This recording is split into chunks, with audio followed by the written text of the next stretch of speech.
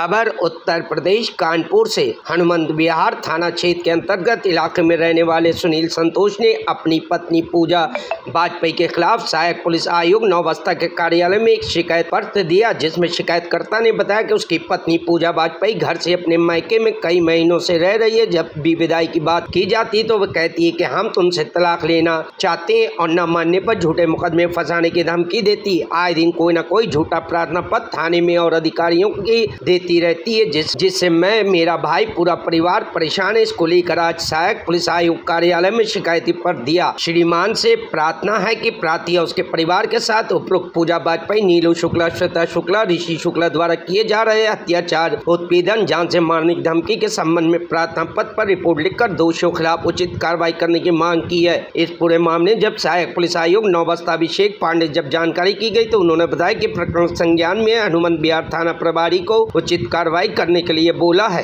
आठ आठ साल से परेशान हूँ मुझको बार बार धमकी मिलती है कहीं नहीं मुझको पैसे दो। नहीं पैसे दोगे तो मैं तुम लोग के सब भाइयों को फंसा दूँगा।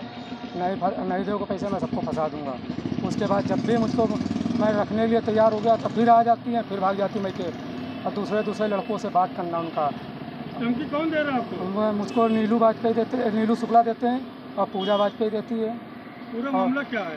पूरा मामला ये है कि दूसरे दूसरे लड़कों से खाली इनका बात करना है। कौन कर रहा था पूजा वाजपेयी और दूसरे दूसरे लड़कों से बात करना जब मना करो नहीं मानना होता है तो उसका तुरंत मैके भाग चली जाएँगे। आपके भाई के ऊपर किसने हाँ। आरोप लगाया और क्या आरोप पूजा ये लगाया है कि लोग मुझको छेड़छाड़ करते हैं और उसके बाद bureau report news hub Bharat.